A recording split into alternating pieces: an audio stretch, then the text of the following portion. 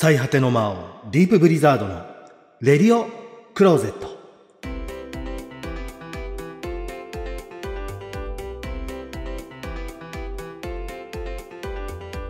我は最果ての魔王、ディープブリザードである。皆、こんにちブリザードであるぞ。この番組は、絵に関する疑問、質問、お悩みに魔王目線でお答えするラジオ番組である。この番組を聞いて少しでも週末のお絵描きが楽しくなってほしいなと、毎週金曜の更新をしておるのであるぞ。というわけで、つい先日までまあまあ世間は黄金週間、黄金週間と、まあ言ってよって、この昨今の流行り病の影響もあって、まあなかなか遊びに行くのはノーみたいな感じに多分みんななっておったと思うんであるけれども、まあそれは最果ての地も同じで、的なことをな、まあこのラジオで言うかのって思ってたんだけれども、もうこの間のラジオを出した週末から、この間の5月5日までか、最果ての地にめっちゃ人が来たんであるよ。その、このラジオとか他のところでも何度か言ってたりはするんだけれども、まあ我は毎朝健康のためにあの散歩をしておるんだけれども、で、最果ての地はな、山中にあるんだけれども、もう少し歩いて上の方まで行くとな、森林公園的なものがあって、悠々とな、そこをぐるっと回って、ああ、気持ちが嫌さであるって言って帰れるんだけれども、このゴールデンウィークであるよ。朝からめっちゃその公園に人が来る。そしたらその森林公園にもう車でうわーってもう駐車場なんてもう絶好の散歩道としてもう乗ったり食ったり歩くのに良かったところに車がわーって止まってな、もう森林公園そこら中に家族連れ、週末だとか土日とかにな、ちょこちょこ人間が来るみたいなことはある場所であるよ。さすがにそうじゃないやっていけないと思うんだけれども。けれどもなんでこんなゴールデンウィークにって思って、まあ、ちょっといろいろ調べてみたというか、もうこれは結論がないというか、まあ、魔王の推論ではあるんだけれども、この今回のゴールデンウィーク、その緊急事態宣言だとか、こう、いろんなところでこう自粛しますとか、こう、緊急事態宣言が明けるまで閉めますみたいな感じで結構やってないところが多かったらしくて、あ、しわ寄せって最果ての地にまで及ぶんだって思って。なあ、まさかの大都市のしわ寄せが最果ての地まで及ぶんであるよ。ってなって、なので、この一週間ぐらいの散歩は、そのもう山の方に行くとな、車とかも結構危なかったんで、夕方以降、落ち着いた時間帯に山を下って、その村落のある方で歩くようにして、そしたらな、そっちの方ではもうだいぶ田植えの準備とかが始まってるっぽくて、ああ、田んぼに水張ってるとか、こっちも掘り返してるみたいな感じになってて、もう、やっとな、春の息吹をちょっと感じたなと思っておったらもう春の息吹もそこそこに初夏の雰囲気が始まり始めたんだなというのをちょっと感じた魔王なのであった。というわけで、今回も皆からいただいたご質問にお答えしていこうと思うのであるぞ。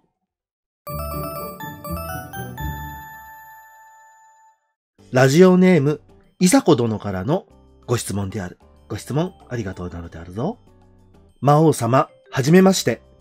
いつも動画楽しみにしています。私は趣味で絵を描いているのですが、描いた絵を数ヶ月後に見直すと、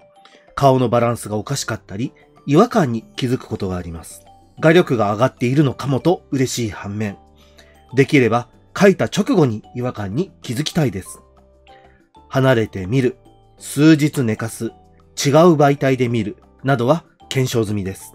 それ以外にデッサン狂いを確かめる方法があれば教えてほしいです。また、他の人の絵なら違和感に気づくのに、自分の絵だとわからないのはあるあるなんでしょうかというわけでな。まあこれはめっちゃあるあるもう、もうみんなもう頭がもうこうなっておると思うんだけれども。ではまず、魔王の結論からお話ししようと思うのであるぞ。自分の思い込みを客観視しよう。なのである。どういうことかというのを話していくと、まあ本当にこれはもう先ほども言ったけども絵描きあるあるなんだけれども、絵を描く上でこのデッサンの狂いに気づけないっていうのは、ああ、我はこの絵うまく描けておるのっていうもう自分自身の思い込みに他ならないのであるよ。なぜかといえば、こう絵を描いている際っていうのは脳が都合よく絵を解釈して間違いが気づきにくくなっておるんであるよ。もう自分は頑張って書いてるから、ああ、いい感じに書けた、いい感じに書けた、よーし、間違いもない、いい感じに書けたであるって、やっぱり書いてる時はな、こうテンションが上がってしまうっていうのもあって、それでやっぱり脳が間違ってるとか、これおかしいんじゃないっていう感覚よりは、あ、それで OK、OK みたいな雰囲気になってしまっておるのである。なので、そのせいで間違いに気づきにくかったり、完成してしばらく経って、からじゃないと気づけないっていう状況になりやすくなってしまうわけである。で、まあこれを解消するためにはじゃあどうしたらいいのかっていうことで、客観視をどれだけ持てるようになるのかというのが鍵になってくるわけなのである。あの、もう、いさこ殿も言われておるけれども、この客観視をする方法として、絵からこう遠く離れて見てみる。で、翌日とか数日とか置いてから見直してみる。あとは、その、これも言われておる。別環境で見てみる。例えば、パソコンで書いたんだったら一回スマホに入れて見てみる。もしくはスマホに入れたんだったら、パソコンとかタブレットとか、もしくはこう印刷した状態で見てみる。と、間違いに気づきやすくなったりする。これらに共通しているのが先ほど言った、その脳が錯覚している状態を直す。つまりは、その描いている絵とは別の絵だと脳に認識させることで、間違いに気づきやすくするという状態にするための方法なのである。であるし、他の人だったらその間違いに気づきやすいのになって言われておったけれども、それも言ったら全くこれと同じで、他の人の絵だからこそ間違いとか、これ、これでいいのかなみたいな違和感に気づきやすくなる状態になるわけだ。要するにその他の人が描いた絵と同じ状態に絵を見ることができるようになれば、早い段階で間違いに気づくことができるようになるというわけなのである。まあなので、魔王なんかもこれはもう意識的に絵を描いている時からもそう思うようにし続けている。何か間違っていないかとか、全体のバランスを見直してみようとか、っていう、やっぱ意識を持つだけでも、やっぱりこうガーって集中しすぎると、それだけ熱中しすぎて、絵の間違いとか違和感に気づきにくくなってしまうのであるな。で、やっぱりこういう意識を持っていることで、短時間で絵の間違いとかに気づきやすくなるのである。まあ、あとは、よくやっているのは、その短時間でその脳に絵の違和感を感じさせるように、こちら側で行動するということなんであるよ。まあ、具体的に我がやっておることというと、まあ、全体的に言えることなんだけれども、15分とか20分、まあ30分ぐらいでもいいんだけれども、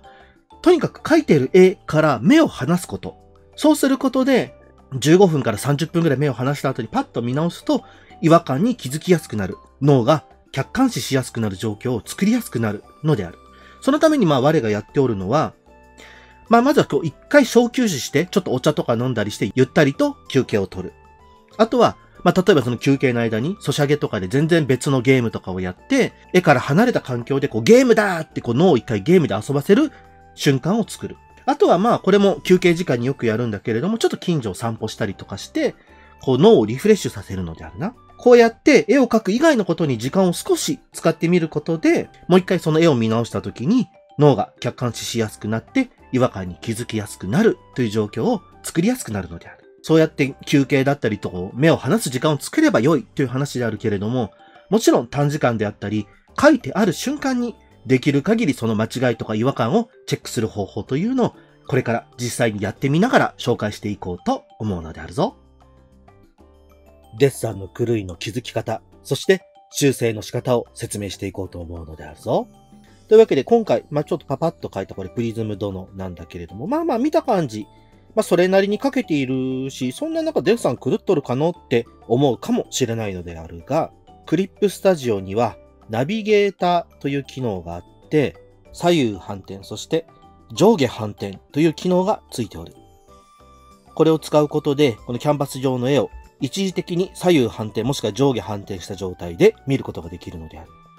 多分、うぬらも一度は聞いたことがあるかもしれないが、デッサンの狂いは、この左右反転や上下反転を使うことで、あっという間に見つけることができるのである。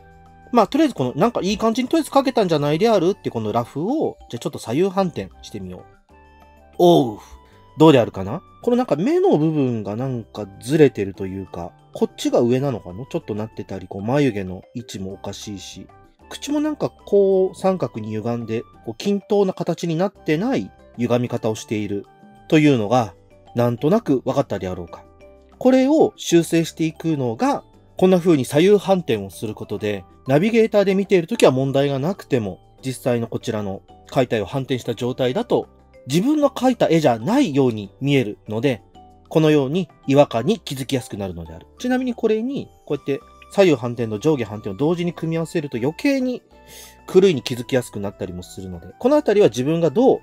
見たら分かりやすいかというのをチェックしてみると良いである。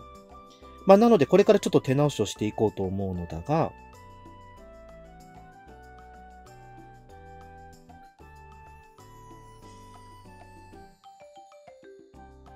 こんな感じで、まずはどう修正しようかっていうのを決めたら、この段階で左右反転を一回解除して、で、この状態でもう一回、結果として見れば、この左右反転していない絵なので、こちらで違和感がないかどうかの再確認をして、で、もう一回ちょっと軽く手直しをして、で、これをベースに、ちょっとパーツの修正をしていこう。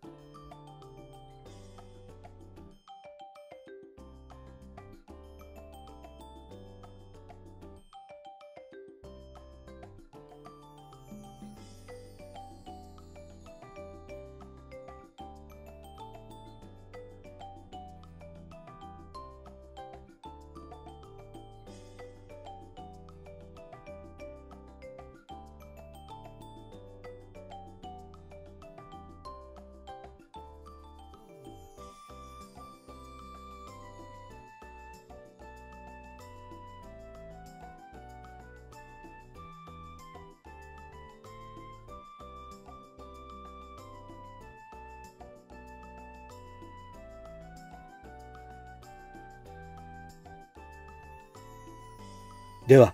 ナビゲーターパレットを使って左右反転しながら顔のパーツを修正したものを修正前、修正後を見比べてみようと思うのであるぞ。現在がこれが修正する前で、そしてこの左右反転を使って修正をしたのがこちらになる。こうやって比較すると